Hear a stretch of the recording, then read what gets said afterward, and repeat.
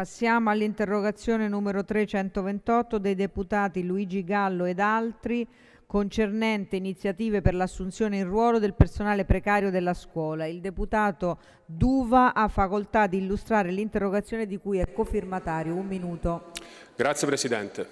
Signore Ministro, a causa delle scelte politiche assunte dai governi precedenti, l'attuale sistema scolastico pone le sue fondamenta sul personale docente e ATA assunto attraverso contratti annuali, ovvero precario. Questo personale precario, che con dedizione e professionalità non inferiori a quelle del personale di ruolo, ha garantito negli ultimi anni il funzionamento del sistema scolastico, permettendo una crescita culturale e civile dei cittadini del futuro, viene in cambio privata del proprio di futuro, attraverso un sistema che non dà loro alcuna certezza né alcuna garanzia. Lei stessa, signora Ministro, in sede di audizione in Commissione ha espressamente richiesto di dare un serio segnale al personale precario attraverso l'elaborazione di un nuovo piano per il triennio 2014-2017 per l'assunzione in ruolo dello stesso personale, piano che in realtà sembrerebbe disporre il solo assorbimento di 44.000 unità, coincidenti con il turnover previsto nello stesso arco temporale, unità da attingere da graduatorie, concorsi e TFA. Anche per il prossimo anno scolastico gli effetti della riforma Fornero avrebbero ridotto le domande di pensionamento da quello che si apprende ai sindacati. Grazie, ha esaurito il suo tempo, mi dispiace. Il Ministro dell'Istruzione, dell'Università e della Ricerca, Maria Chiara Carrozza, ha facoltà di rispondere per tre minuti. Grazie, onorevole Presidente, onorevoli colleghi.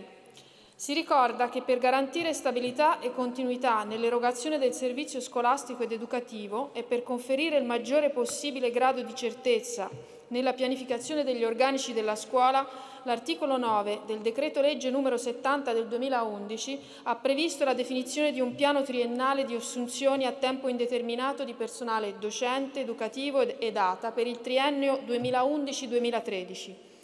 L'attuazione del piano ha consentito di ridurre l'entità del personale precario della scuola, con ciò rispondendo all'esigenza di allineare il sistema nazionale alle normative comunitarie concernenti i contratti a tempo determinato, materia sulla quale si è recentemente sviluppato un significativo contenzioso davanti ai giudici del lavoro.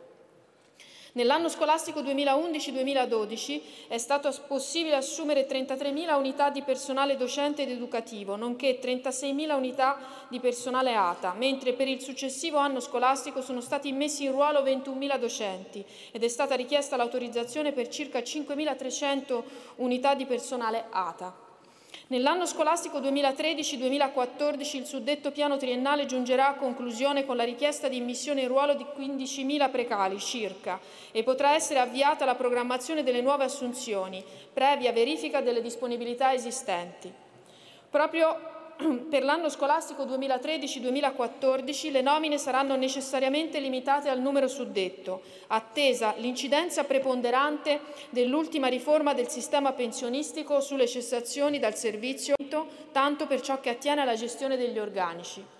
A riguardo, come ho già annunciato alle settime commissioni congiunte, è allo studio la definizione di un nuovo piano triennale di immissione in ruolo 2014-2017 del personale precario che consenta di ridurre il numero di soggetti che ancora prestano servizio nella scuola con contratti a tempo determinato nonché misure per introdurre gradualmente e compatibilmente con le risorse disponibili l'organico funzionale del sostegno, raggiungere la sostanziale equivalenza tra organico di diritto e di fatto nel sostegno con l'inquadramento in ruolo dei circa 30.000 docenti di sostegno che vengono utilizzati annualmente e in prospettiva l'organico funzionale come nuovo metodo di gestione degli organici. Grazie. Ha facoltà di replicare il deputato Duva. Due minuti. Grazie Presidente. Grazie signora Ministra. Io non mi ritengo soddisfatto perché risulta evidente da queste parole che l'istruzione sia importante soltanto nel periodo preelettorale e che una volta finito il periodo elettorale a urne chiuse sembra che ce ne dimentichiamo, sembra che non ci interessi più.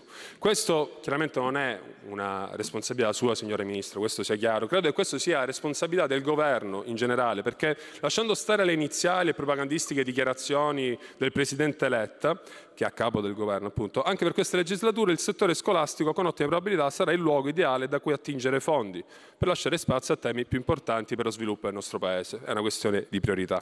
Quello che viene chiamato piano triennale di assunzioni, così come previsto, non potrà essere utile ad assicurare l'assorbimento delle masse di personale precario all'interno della scuola come da lei dichiarato in sede di commissione, dal momento, anche adesso del resto, come dal, eh, dal momento che tale massa si compone di circa 300.000 unità, cifra ben lontana da quella per la quale sembrerebbe vogliate impegnarvi. L'assorbimento futuro oltretutto non avrà luogo tra sole gradatorie del personale precario, ma andrà a ricomprendere al suo interno anche i posti previsti per l'assunzione del personale vincitore del concorso pubblico per la scuola e il personale uscente dal tirocinio formativo attivo, sia ordinario che speciale, aumentando ulteriormente la distanza fra le cifre qui riportate. Soprattutto è parzialmente incomprensibile tutto ciò se si considera l'impegno finanziario previsto all'assorbimento del precariato che è eh, grosso modo simile a quelle retribuzioni attuali eh, annuali. Avremmo auspicato un vero segnale forte, come, così come da lei dichiarato. Avremmo auspicato un cambiamento delle politiche dei governi assunti in questi anni, argendo la piaga del precariato scolastico, ridando allo stesso tempo dignità alla scuola e a chi da anni, con professionalità e sacrificio, opera al suo interno. Concludo dicendole che eh, in ogni caso noi in parte siamo consapevoli, siamo certi della buona fede del governo, per cui mi prodigherò a riportare la sua risposta ai vari comitati di precariato scolastico e spiegherò loro che resteranno precari non so perché non sono avanzati i soldi al finanziamento dell'Expo 2015, dei rimborsi elettorali, dei rimborsi all'editoria, delle province, degli F-35, della guerra in Afghanistan. Grazie. Passiamo all'interrogazione.